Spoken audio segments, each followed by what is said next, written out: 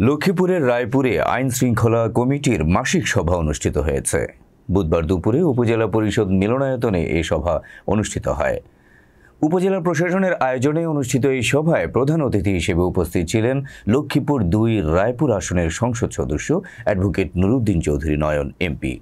বিশেষ অতিথি হিসেবে উপস্থিত ছিলেন উপজেলা পরিষদের চেয়ারম্যান অধ্যক্ষ আলহাজ মামুনুর রশিদ, রায়পুর পৌরসভার মেয়র গিয়াসুদ্দিন রুপেল ভাট, উপজেলা সহকারী কমিশনার ভূমি রাশিল ইকবাল, রায়পুর থানার অফিসার ইনচার্জ শিপন বড়ুয়া। উপজেলা নির্বাহী অফিসার অঞ্জন দাসের সভাপতিত্বে এছাড়া আরও উপস্থিত ছিলেন রায়পুর প্রেস ক্লাবের সভাপতি আনোয়ার হোসেন ঢালি, সাবেক সহসভাপতি মোহাম্মদ সৈয়দ আহমদ, উপজেলা পরিষদের vice chairman advocate Maruf bin Zakaria, upazila মহিলা vice chairman Majeza Begum, union পরিষদের সকল চেয়ারম্যান, সরকারি বিভিন্ন দপ্তরের কর্মকর্তা কর্মচারী ও গণমাধ্যম কর্মীবৃন্দ।